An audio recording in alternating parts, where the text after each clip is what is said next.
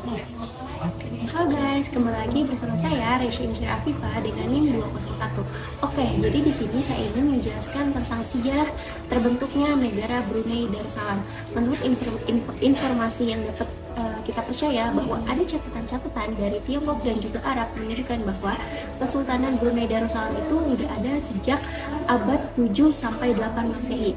Nah, kemudian uh, Kesultanan ini ditaklukkan oleh Kerajaan Sriwijaya pada awal abad ke-9 Masehi dan e, menguasai daerah ke Kalimantan Utara dan juga Filipina yang di mana merupakan su, e, daerah kepulauan yang sama. Dan setelah Sriwijaya dikalahkan oleh Kerajaan Majapahit Brunei ini telah berhasil memerdekakan dirinya dan juga menjadi negara yang maju yang di mana dia itu menjadi pusat perdagangan dan juga kebudayaan yang terbesar di Asia Tenggara. Ah, sekarang kita akan membahas tentang bentuk dan sistem pemerintahan Brunei Darussalam dengan saya Mira Sakyawati NIM 009. Menurut dari beberapa artikel, buku dan jurnal yang saya baca dapat kita simpulkan bahwa negara Brunei Darussalam merupakan negara kesatuan yang berupa monarki konstitusional atau kerajaan yang bentuk pemerintahannya monarki absolut berdasarkan hukum Islam. Dengan begitu, raja atau sultan sebagai kepala negara kepala pemerintahan dan juga sebagai merangkap perdana menteri. Karena memiliki sistem pemerintahan yang monarki absolut, tentu saja sultan atau raja memegang kekuasaan tertinggi dan kekuasaan eksekutif, legislatif, dan yudikatif.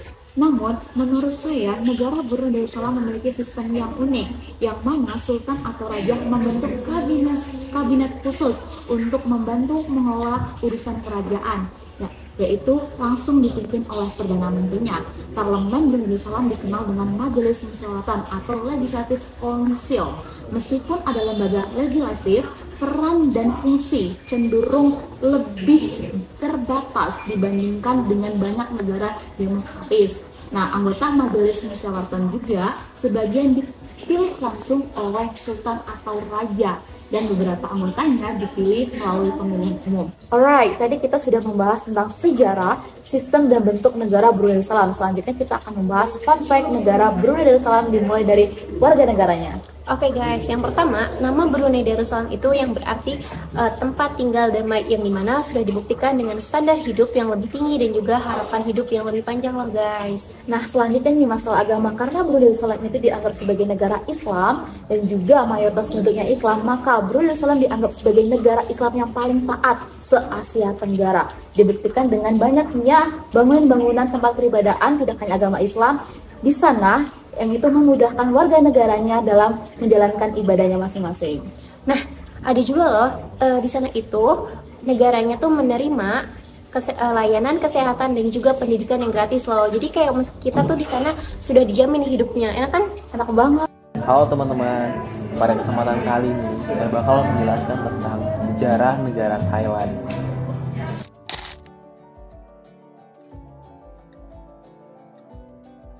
Dulu negara Thailand itu disebut dengan negara Siam, yang di mana pusatnya itu berada di kerajaan Ayutthaya, yang di mana kerajaan Ayutthaya ini berada di pinggiran sungai Chao Phraya. Sayangnya kerajaan Ayutthaya kalah di perang Burma Siam. Setelah setahun dari tragedi perang Burma Siam, lahirlah kerajaan baru yang dinamakan kerajaan Tonburi. Nah, tapi kerajaan Tonburi ini cuma bertahan 15 tahun. Pada masa kerajaan Tonburi, pemerintahannya itu memindahkan ke ibu kota dari daerah Ayutthaya ke daerah Tonburishi Mahasamud yang di mana daerah itu sekarang menjadi namanya daerah Kaosan yang di mana juga daerah Kaosan ini menjadi pusat hiburan malam yang ada di Thailand sekarang setelah kerajaan Tonburi Musa, lahirlah kerajaan baru yaitu kerajaan Ratanakosin. Yang di mana salah satu teori menjelaskan bahwa Ratanakosin itu memindahkan pusat kotanya di tengah-tengah pohon zaitun mana itu melahirkan nama Bangkok. Nah, arti Bangkok sendiri dalam bahasa Thailand yaitu pohon zaitun. Kenapa pusat kota dari Bangkok ini dipindahkan ke timur Chao Phraya? Dikarenakan mereka takut kalau misalnya nanti pada saat mereka tempatin lagi di daerah kawasan di daerah Totburi itu bakal adanya invasi dari negara-negara penjajah seperti Perancis sama Inggris dan adanya invasi-invasi dari etnis-etnis lain. Nah, hebatnya pemerintahan Thailand pada zaman itu yang dipimpin oleh Raja Mongkut Rama IV dan Raja Chulalongkorn Rama V. Thailand ini mulai melakukan westernisasi atau membaratkan diri yang di mana mereka melakukan kesepakatan-kesepakatan atau perjanjian untuk meliberalisasi perdagangan negara Siam. Nah, contoh seperti perjanjian Borning yang di mana dilakukan oleh Raja Mongkut dan Raja Hongkong pada saat itu yaitu Raja John Borning. Ya, untuk tujuannya untuk melakukan meliberalisasi perdagangan yang ada di negara Siam itu.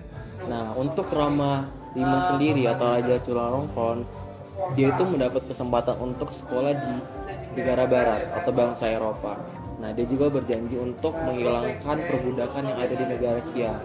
Dan juga pada masa pemerintahan beliau, nah, infrastruktur itu dibantu sama negara-negara Eropa tahu, yang di mana Indonesia itu dijajah. Nah, mereka sendiri itu dibantu sama negara-negara Eropa. Nah, bagus secara malima, dia juga menyuruh warganya untuk tidak menggunakan sepatu adat ketika berdagang dan lebih menyuruh untuk menggunakan sepatu dari bangsa Eropa kan lebih modern.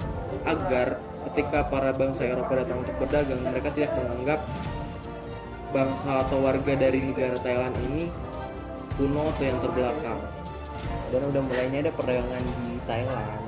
Mereka itu malah membuka izin untuk membuka pertambangan dan mengizinkan untuk membuat rel kereta api di negara mereka oleh bangsa Eropa. Tapi sebagai gantinya mereka itu membuat tentara-tentara yang ada di Thailand dari bangsa Eropa itu menjadi bawahan kerajaan atau cenderung seperti pribumi itu uh, menjadikan bangsa-bangsa Eropa tentara-tentara Eropa yang ada di Thailand itu sebagai bawahan mereka. Prancis dan Inggris juga melakukan atau mengklaim Thailand ini sebagai negara yang membatasi jajahan-jajahan mereka. Intinya, kenapa Thailand itu nggak dijajah oleh negara atau bangsa Eropa pada zaman penjajahan?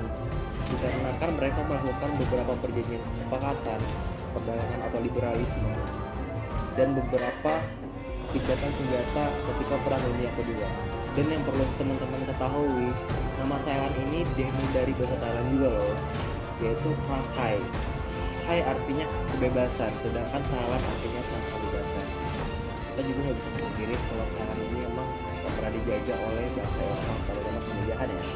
Tapi di dalam konflik internal negara ini tuh ada loh dan menjadi siklus dalam lima tahun pasti ada kudeta atau demo besar-besaran. Nah, kudeta paling terkenal itu adalah pada tahun 1932 yang di mana pada zaman itu kerajaan Thailand dipimpin oleh Raja Pradipok atau Rama VII yang terkenal dengan gaya hidup yang boros. Nah, kudeta juga ini dikenal dengan revolusi tidak berdarah yang di mana pada saat kudeta ini mengubah sistem dari monarki absolut menjadi monarki konstitusional dan itu bertahan sampai sekarang. Kenapa revolusi ini dinamakan revolusi tidak berdarah? Dikarenakan pada saat kudeta itu nggak ada korban jiwa sama sekali dari warga Thailand tapi dari Raja Pradipok sendiri yang menjadi korban dari kudeta ini. Entah kematiannya juga itu menjadi kontroversial di sejarah Thailand. Ada isu bahwa dia dibunuh oleh saudaranya atau dibunuh oleh salah satu anak buahnya. Nah itulah tadi sejarah singkat dari Thailand dan mungkin teman-teman bakal dilanjutkan materi selanjutnya dengan materi bentuk dan sistem pemerintahan dari Thailand. Umumnya negara Thailand dikenal sebagai negara kerajaan, tapi kalian ingin tahu nggak sih detail dari sistem dan bentuk pemerintahan negara Thailand itu sendiri? Simak ya videonya. Jadi, Thailand merupakan negara kesatuan yang bentuk pemerintahannya berupa monarki konstitusional dan sistem pemerintahannya berupa demokrasi parlementer. Sang raja mempunyai sedikit kekuasaan langsung di bawah konstitusi dan merupakan pelindung Buddhisme Thailand dan lambang jati diri dan kesatuan bangsa. Raja sebagai kepala negara tidak terlibat langsung dalam politik praktis. Uh, Raja itu menggunakan hak konstitusionalnya itu melalui lembaga yudikatif, eksekutif, dan legislatif. Walaupun tingkatan lembaga kerajaan di atas politik, tapi tidak jarang uh, lembaga kerajaan itu terlibat konflik dalam politik Thailand terus memantapkan lembaga-lembaga demokrasi untuk memastikan suara rakyat lebih didengar dan dihormati.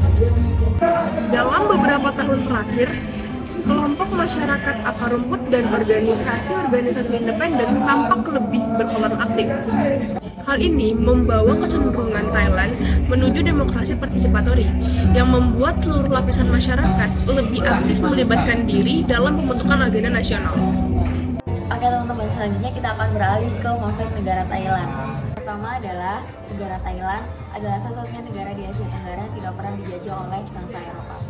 Kalian tahu nggak sih, saking pintarnya negara Thailand dalam memainkan diplomatik dan politiknya, mereka itu tidak pernah dijajah oleh bangsa Eropa bahkan bangsa Eropa itu yang bekerja untuk mereka. Jadi eh, tentara-tentara atau bekerja dari Eropa itu bekerja di bawah pemerintahan negara Thailand. Jadi dalam bahasa Thailand jadi Thailand itu sebenarnya nama penuh itu adalah Prakatai yang dalam bahasa Inggris itu namanya Land of Free atau dalam bahasa Indonesia adalah negeri yang merdeka. Kedua adalah kepala di Thailand dianggap sebagai bagian tubuh yang paling suci jadi di Thailand itu kepala itu dianggap yang paling suci, paling utama dan paling krusial. Sehingga di Thailand itu ada aturan nggak boleh nyentuh kepala siapa pun loh. Kenapa demikian? Karena di Thailand itu kepala dianggap sebagai simbol intelektual dan spiritual. Yang ketiga itu adalah Venice of the East.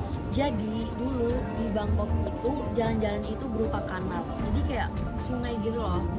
Jadi dulu bangunan-bangunan Bangkok itu dibangun di atas sungai sehingga Bangkok itu memiliki julukan sebagai Venice of the East. Selanjutnya adalah Luwu Padi Asia.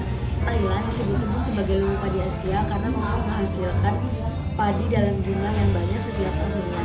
Salah satu lumbung yang berada di Thailand itu ada di kota Supanburi, letaknya kurang lebih 150 km dari kota Bangkok. Sejarah awal Singapura.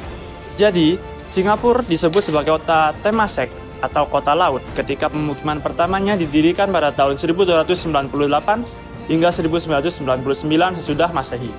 Kemakmuran Singapura mengalami pukulan besar selama Perang Dunia II ketika pulau ini diserang oleh Jepang pada 8 Desember 1941. Kemudian, Jepang menyerah pada 1945. Pulau ini diserahkan kepada pemerintahan militer Inggris yang tetap berkuasa hingga negeri-negeri selat pada April 1945, Singapura menjadi negara koloni kerajaan Inggris. Pada 1963, Malaysia dibentuk terdiri dari Federasi Malaya, Singapura, Sarawak, dan Kalimantan Utara yang sekarang adalah Sabah. Gerakan itu dimaksudkan untuk mendorong hubungan yang lebih dekat, namun penyatuan Singapura dengan negara-negara lainnya terbukti gagal. Dan kurang dari dua tahun kemudian, pada 9 Agustus 1965, Singapura meninggalkan Malaysia untuk menjadi negara demokratis yang berdaulat. Singapura tergolong negara section karena mengalami permisahan dengan Malaysia. Singapura merupakan negara dengan sistem pemerintahan republik parlemen, di mana Singapura memiliki presiden sebagai kepala negara dan perdana menteri sebagai kepala pemerintahan. Terdapat tiga pembagian kekuasaan di Singapura, yakni legislatif, yudikatif, dan eksekutif. Perdana Menteri memiliki tanggung jawab atau kekuasaan terhadap eksekutif, dan Perdana Menteri dipilih oleh Presiden dan memimpin kabinet-kabinetnya. Kemudian, memiliki tanggung jawab secara kolektif terhadap legislatif. Pemegang kekuasaan legislatif dipegang oleh parlemen dan presiden sebagai kepala negara. Tugas parlemen di sini sebagai pembentuk undang-undang untuk mengatur negara Singapura. Singapura adalah negara kesatuan atau unitary state, di mana pemerintah sentral memiliki kuasa penuh terhadap seluruh alur pemerintahan, dan kekuasaannya tidak dibagi kepada wilayah maupun otonom. Fun fact di sini, Singapura adalah negara kota atau polis, Negara kota adalah negara independen berdaulat yang menjadi pusat kehidupan politik, ekonomi, budaya yang karena memang Singapura memiliki wilayah yang berdekat-dekatan sehingga menjadikan Singapura ini sebagai negara kota.